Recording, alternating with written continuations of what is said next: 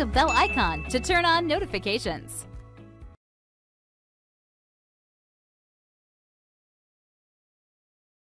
Hello everyone and welcome to this tutorial video on Microsoft Forms. Now Microsoft Forms is probably the best small application that you've never heard about. It's often overshadowed by its flashier cousins in the Microsoft 365 suite and it's easy to forget that Forms even exists.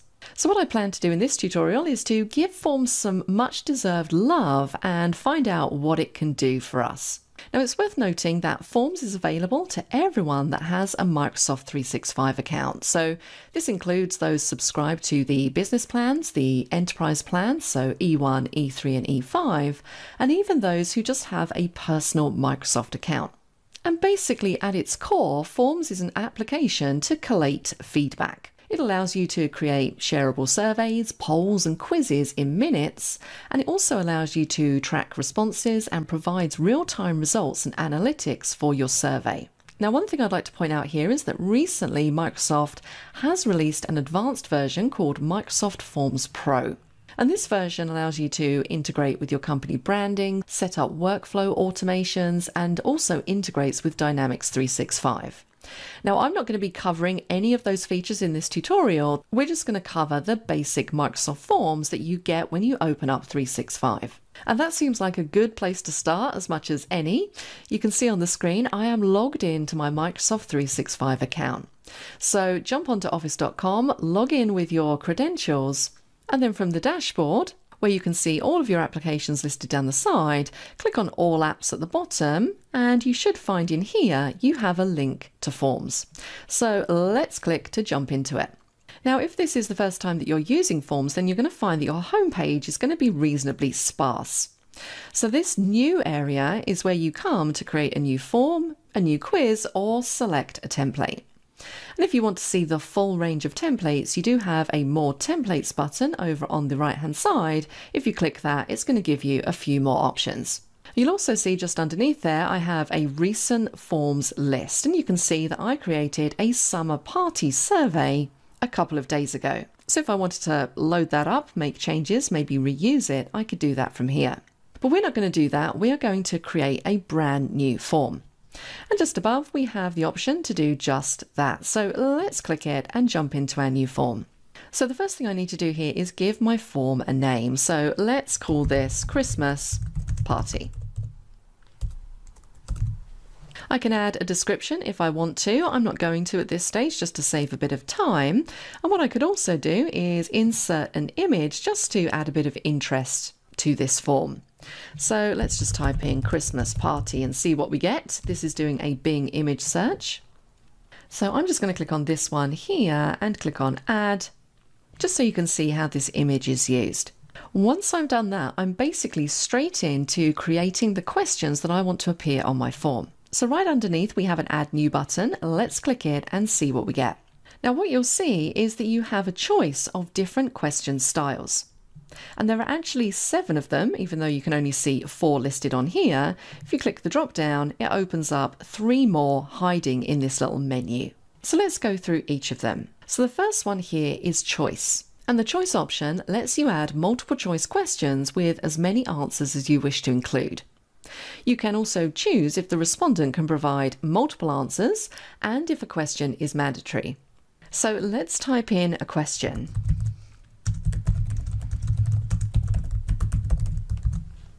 I can now start adding in different options that I want them to be able to choose between. Now by default I only have two options. If I want to add a couple more I've got an add option underneath so I can add in a third choice. And let's add in one more choice. And if you want to have an option that just says other, you can add an other option right at the bottom. I can then specify if I want them to be able to select multiple answers by toggling on this little setting, and also if this question is mandatory. Now I'm going to leave both of those toggled off and then I'm going to click add new. So now I'm straight into adding my second question on my form. And this time I'm going to choose text. Now the text option allows respondents to answer your question with a free text response and they can basically type anything into this field. So let's type in our question.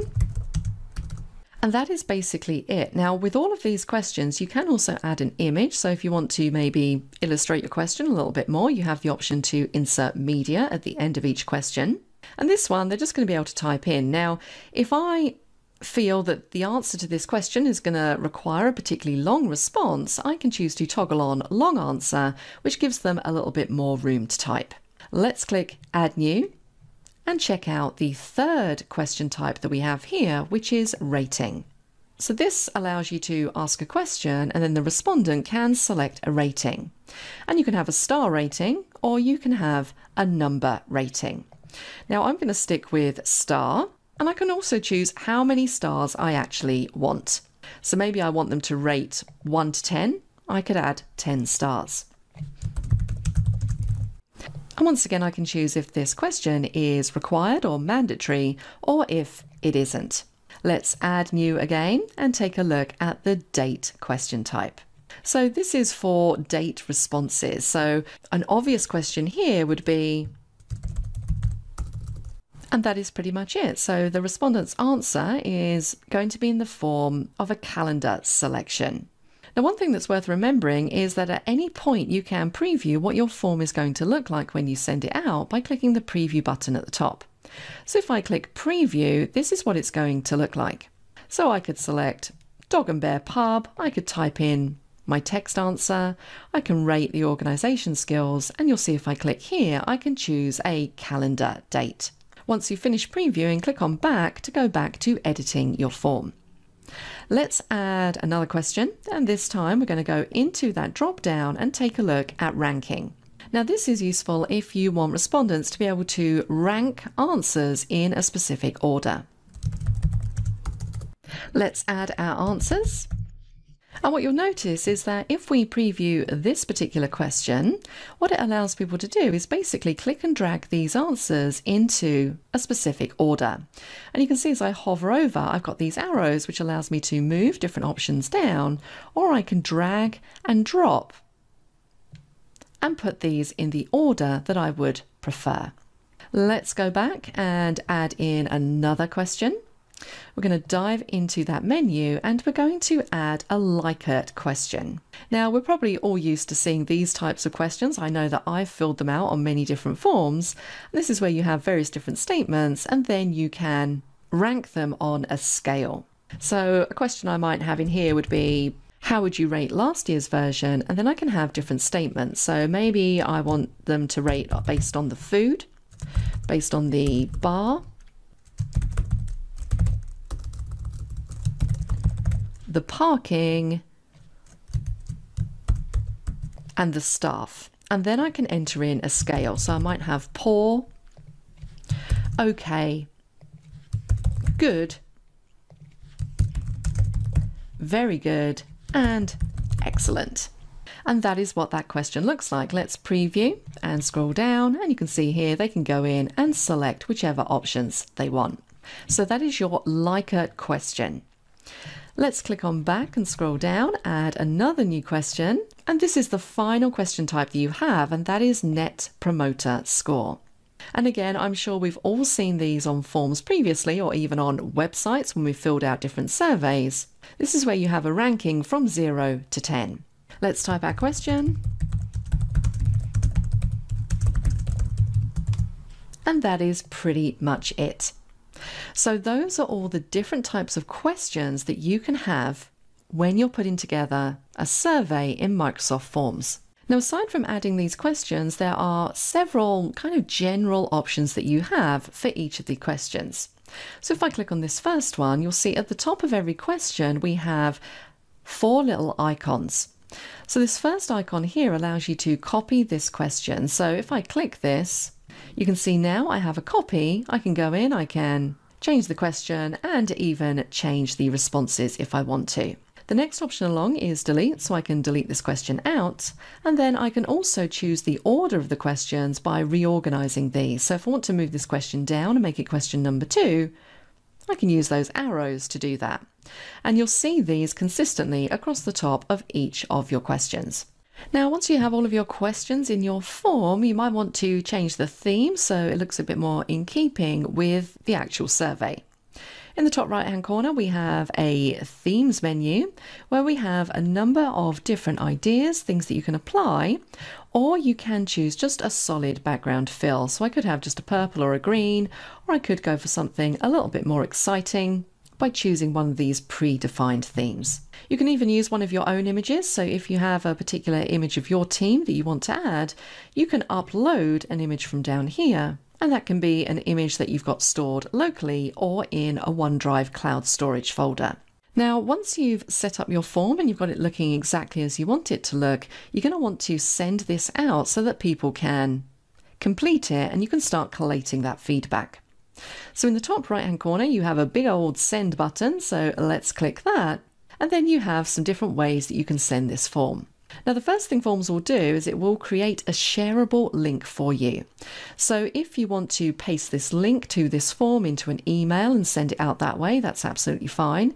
Or maybe you want to paste it into something like Microsoft Teams so that people can just click and they're automatically linked to this form. If you do want to do that, just click in this field to select the shareable link, click on copy, and then just paste that into your relevant emailing application. We also have some other options. So if we click this one, recipients can basically scan the QR code onto their phone in order to access this form. You can see the embed code. So if you want to embed this form into an HTML web page or maybe something like a Sway, there is the code that you need to copy. And then finally, you have the option to email directly from Outlook, and that's going to open up an Outlook email for you with a link to the form. You could also share this as a template so that it can be reused by others with just some of the information changed. So I've sent this form out to a group of people, and what you'll see is that when people start responding, in the response tab at the top, you'll start to get this little notification. So I can see that one person has responded. If I click on this tab, I can see their responses. And I basically get a little overview of how that person has responded. And obviously, the more people that complete this, the more accurate this is going to be. So this gives me a really nice little analytics area where I can go in and really find out what it is that people want. I even have an option here to open this up in Excel if I want to do further analytics on this data.